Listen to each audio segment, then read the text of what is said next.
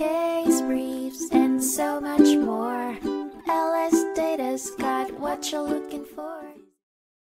In 2015, the Alaska Court of Appeals heard the case of Simon v. State, which focused on the definition of theft and whether the government must prove that the defendant exercised unauthorized control over the property. The case involved Harold Evan Simon, who was convicted of stealing a jacket and hiding DVDs in a backpack without paying for them at Walmart. Simon's attorney filed a motion for a new trial, arguing that the court needed to determine whether his actions constituted a completed act of theft or attempted theft, and if the judge provided adequate instructions to the jury. Additionally, the court had to decide if Simon's actions were among the least serious within the definition of his offense. Ultimately, the court ruled that the crime of theft is complete when a person, with the intent to deprive the store of merchandise, performs an act that exceeds or is inconsistent with the scope of physical possession granted to customers by the store owner. Simon's concealment of merchandise and attempt to leave the store with unpaid items made him guilty of theft. However, the court determined that the judge's supplementary instruction on the actus reus of theft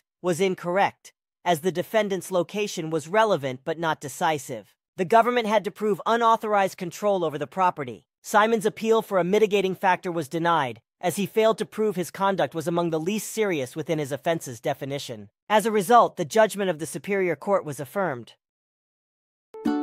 case briefs, and so much more. LS Data's got what you're looking for. Visit lsd.law, elevate your mind. Leave the stress of class.